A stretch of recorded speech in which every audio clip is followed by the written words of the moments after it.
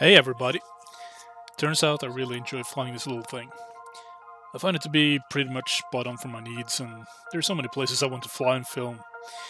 Today, we're at Jonsvannet, which is my hometown's uh, tap water source. Uh, this uh, particular lake has a few islands here and there. It's uh, really beautiful. And there's loads of cabins and summer houses all around. I'm not gonna bore you with talking over the video like I did in the previous one, so enjoy!